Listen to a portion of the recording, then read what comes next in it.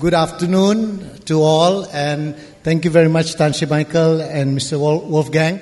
Thank you as well to the organizer of the event. I'm sorry I'm eating sweets to keep myself awake because I just arrived back from Davos on Sunday, and I realized after that long trip you can you cannot sleep. I just could not sleep because it has been like uh, a three o'clock in the morning wake up call every other day of my five days there, and then of course when I got back, I've been waking. I, I, I managed to sleep for like four hours, and then I woke up uh, each time at three o'clock. So I'm not too sure whether it's the time or me that is the problem. But yesterday I had uh, three events similar to this, a couple of meetings with people, and today this is my third event of the day. You eh, know, this, yeah, this is my third event of the day, and then I'll have uh, two more later. So I apologize if my speech is a bit slurry as well as I'm a little bit lost in things. But I hope I do not lose uh, in translation the message that I'm supposed to deliver. Now, um, thank you very much again for, deliver, for, for today and the opportunity to just give a bit of address on the Economic and Strategic Outlook Forum that uh, you have kindly invited me to attend. Um, there are many questions I believe that you will be asking, but I'd like to set the tone that one of the focus today in Malaysia is to ensure, just as I was asked outside just now, what is the status of the regional comprehensive economic partnership that ASEAN is working on. And the details are, of course, uh, known only to the negotiators, but I believe that we are trying our best to conclude something that has not been concluded for years. And what will entail out of the RCEP will be a huge multilateral, multinational agreement between ASEAN, ASEAN and, and the rest of the dialogue partners, which will be about 16 countries altogether. Now, with that kind of economic bloc, Malaysia, as well as its partner, will be able to trade more seam- seamlessly and more competitively with the world. Now, uh, the RCEP, the RCEP provides for us the opportunity to have better access and market liberalization, and its benefit includes coordination and standardization of rules, as well as procedures which are different from each ASEAN FTA and six dialogue partner. So we will ensure that it will work seamlessly and that we will be able to cut across all barriers that we face today amongst ASEAN. RCEP would also open up opportunities for local businesses to obtain raw materials of good quality at cheaper price between each other, and thereafter we will be able to use our rules of origin.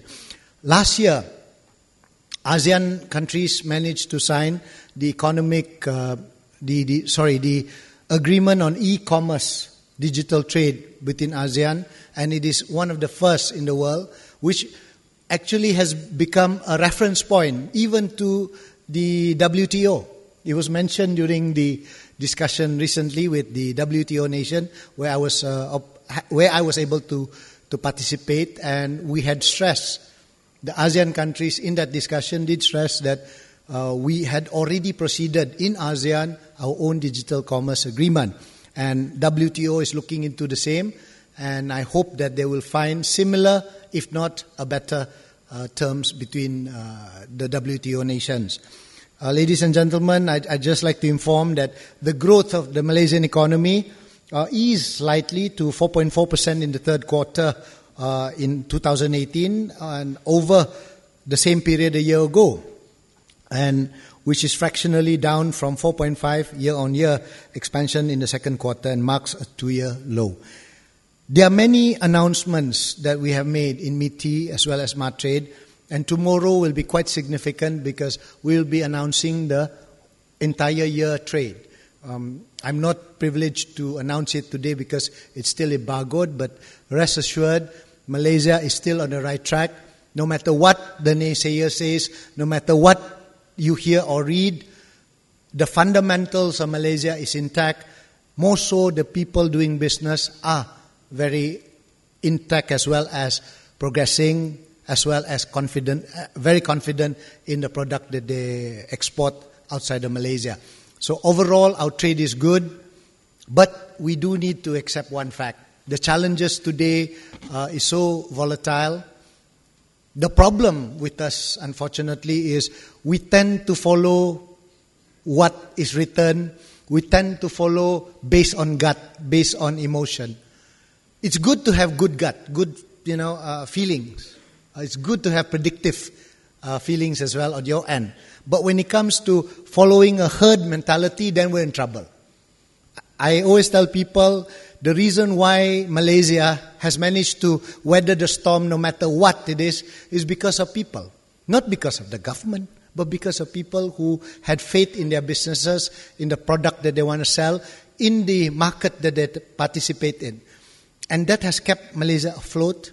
And, and thankfully, the government have been there as well to introduce good policies and acceptable policies. Now, with the current government, I know some are beginning to question what are the benefits that we have seen after the 9th of May 2018. I'm telling you this. There are a lot of people coming into Malaysia, not only because they had a change of government, but because they want to rebuild Malaysia together. And I've always asked them, if we can rebuild Malaysia together and with your help, do you think we'll forget what you've done by, volu- by, by coming in and sacrificing together with us in rebuilding our nation? We won't. Because there is one thing that I've learned when I was young, also from my parents as well as friends, who always told me one of the premise in our life is never to forget the source of water, never to forget who was with us at the, at the most trying of times. And Malaysia our nation is facing a trying times. There are people giving negative uh, connotation of our country. They are giving negative outlook of our country.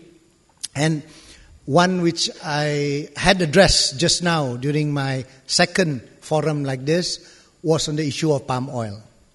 There are a lot of people attacking palm oil, more so in the European side. And they've always used the reason that we are not sustainable, that we are killing the orangutans. Now, when they touch on the orangutan, coincidentally, I come from Sabah, which has a lot of orangutan. And besides human beings who are also like orangutan. So, but they are good people. Okay, um, good animals as well. The issue is about competition when they want to compete with our oil palm and they lie about our oil palm, that gets to me. Why it gets to me is because it becomes unfair when they start lying about how our sustainability is. Just like when I met a counterpart of mine in Europe, the gentleman said oil palm is controversial, blah, blah, blah, and blah. So I said, put it this way your country has kept a lot of money from people who devastated our forests. Your country had accepted money that was stolen from devastation of forests. So for you to judge our country on finding a solution to a devastated forest that was done by criminals who have since kept their money in your country, I think that is unfair. Why is because why is because it is true once the forest has been destroyed by these bad people, what are we going to do? Are we just going to leave it to fate that something will grow out of it? No. The fact that I said earlier, the resilience of the Malaysian people is they come up with ideas to actually grow something commercial out of it so that the existing ecosystem of that devastated forest will have opportunity commercially, will have opportunity for employment as well. So palm oil has become one of the crops that were grown out of the devastation and, and uh, damage done by bad people. So now we have another battle.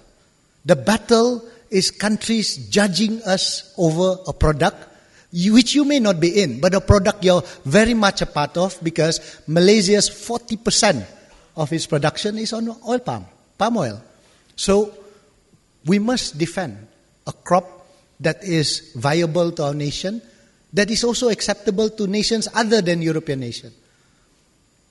So I keep on asking my friends in Europe, you ask me to finalize certain FTAs, but yet you question our palm oil. I think we need to move forward from there, accept the fact that we have come up with solution that is sustainable for our nation, that is sustainable from the height where we're coming from. Maybe not from the height where the Europeans are coming from, because they have uh, industrialized themselves. They have gone to Industry 4.0. They've gone to high tech or high end technologies, and yet they judge us on the normal on the crops that can grow in Malaysia.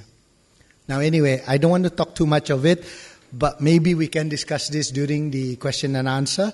And uh, ladies and gentlemen, I would, on behalf of the government, I'd like to assure you that various measures will continue to strengthen the structural reforms that you expect us to do and to accelerate our country's convergence with developed economies. We will ensure that we work with all these developed economies, and that is why the Prime Minister and many other ministers in the cabinet have made many attempts to reach out to other countries to work together with us, but more so to Malaysians who are already in those countries, our diasporas there, to spread the message that Malaysia is good for business. Thank you very much, and God bless all.